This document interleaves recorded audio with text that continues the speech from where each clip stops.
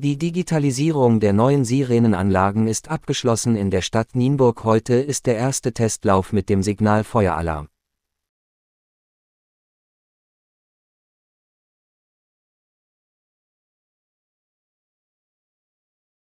Dabei werden alle acht Sirenenanlagen um 12 Uhr anschlagen ausgelöst wird das durch die Leitstelle dieser Test findet vierteljährlich statt es besteht keine Gefahr Ende der Testdurchsage.